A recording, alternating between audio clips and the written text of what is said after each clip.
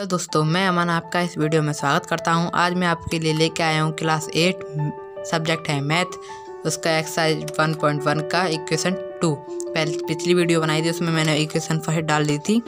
अब हम इसको सॉल्व करेंगे। इसको अप्रोप्रिएट वाली प्रॉपर्टी फाइंड करना था। अप्रोप्रिएट वाली आइडेंटिटी बताई थी क्या होती है।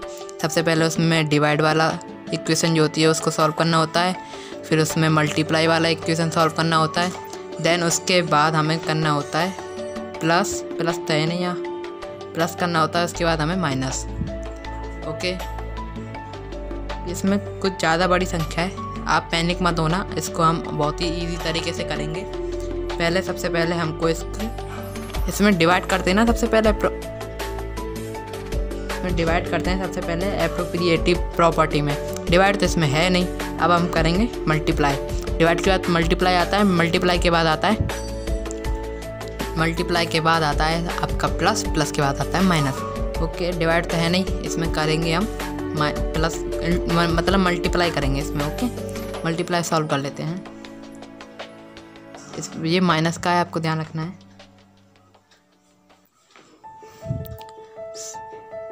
सेवन फाइव जा। Thirty five. आपको एक कल का साइन ज़रूर लगाना है ओके? माइनस है माइनस रखेंगे। फिर दोबारा माइनस है ओके? सिक्स टू जा ट्वेल्व।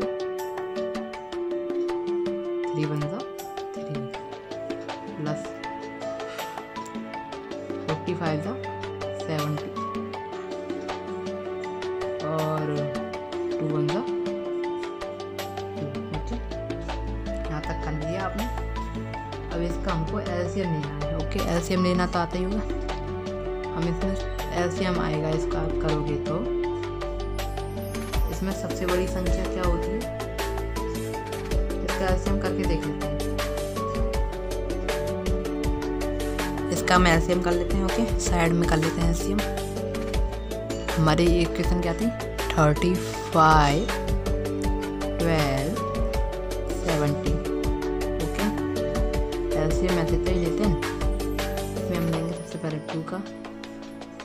इसमें थर्टी फाइव का थर्टी फाइव फिर सिक्स आ जाएगा थर्टी फाइव टू आ जाएगा। ओके अब थ्री से। थर्टी फाइव थ्री में डिविज़ल नहीं है, इसलिए हम इसको ऐसे लिखेंगे। थर्टी फाइव का थर्टी फाइव। अब आएगा हमारा। नहीं, यहाँ वन आएगा ना, okay, sorry.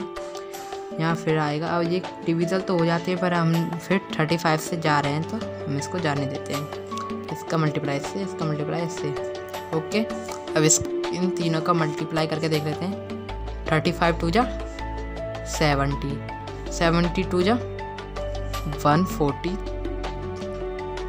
One forty, okay.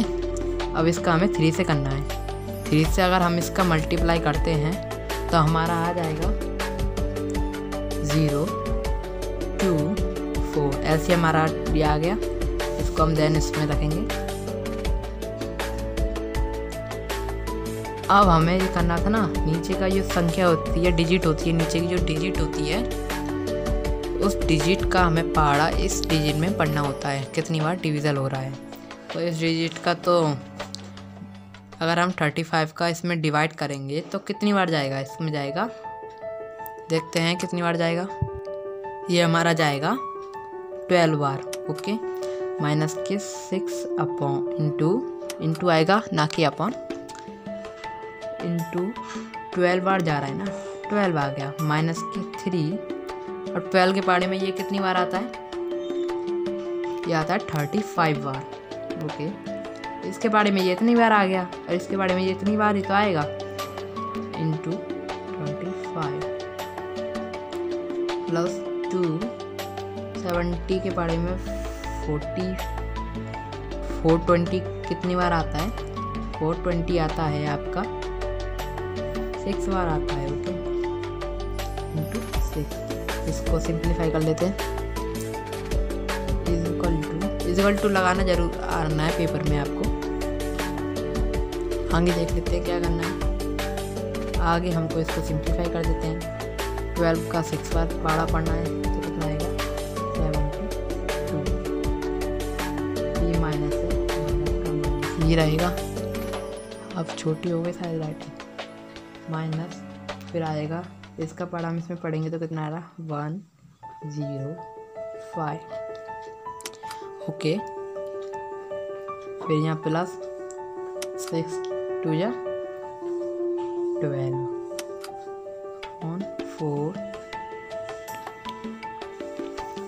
अब इसको हम प्लस कर देंगे। माइनस माइनस की एक तरफ़ रख के इसको प्लस कर देंगे, कितना आएगा? माइनस से माइनस कट जाएगा। इस ओके माइनस से माइनस कट जाएगा। Seventy seven plus twelve minus से माइनस कट के ये प्लस हो जाएँगे। कितना आएगा? प्लस करने के बाद? प्लस करने के बाद आ रहा है हमारा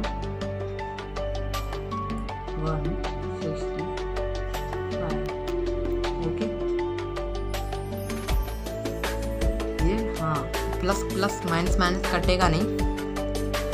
ये ये माइनस की संख्या बड़ी है ओके माइनस की संख्या बड़ी है, इसलिए इधर आ जाएगा माइनस। अब इसमें भी माइनस लगेगा। दोनों सिंप्लीफाई हो गए इसके बाद फोर फोर ट्वेंटी आ गया। फोर ट्वेंटी से ये तो कट के लिए फाइव के पार्ट से कटेंगे डायरेक्टली तो फाइव के पार्ट से हम डायरेक्ट काटते हैं। ट्वेंटी एट फाइव जा फोर्टी फोर ट्वेंटी और इलेवन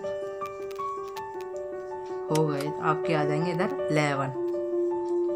देन ये माइनस का है, इधर माइनस ही आ जाएगा। ओके ये हो गया हमारा आंसर ये कटेंगे नहीं, आप किसी पारे से। हमारा आंसर अगर आपको वीडियो अच्छी लगी हो तो इसको लाइक करें सब्सक्राइब करें। कमेंट में ये बताएँ कि अगर मैं मैथ ही पढ़ाऊँ या और अदर सब्जेक्ट भी पढ़ाऊँ। धन्यवाद।